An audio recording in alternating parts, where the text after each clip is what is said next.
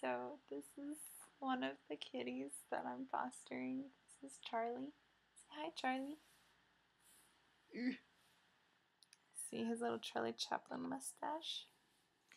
He loves me the most. The other two are sleeping.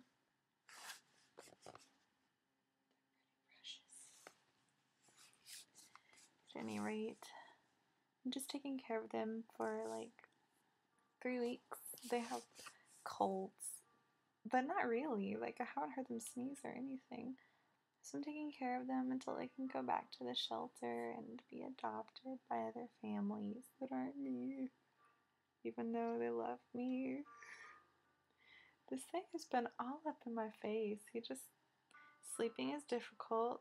Um. Oh, okay. Now he leaves. Right.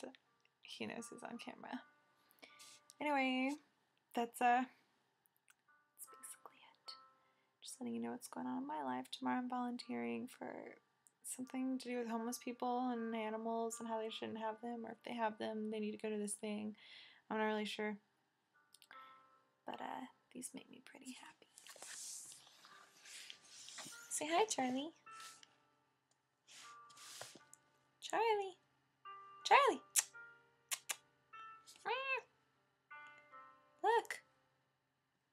Oh my goodness.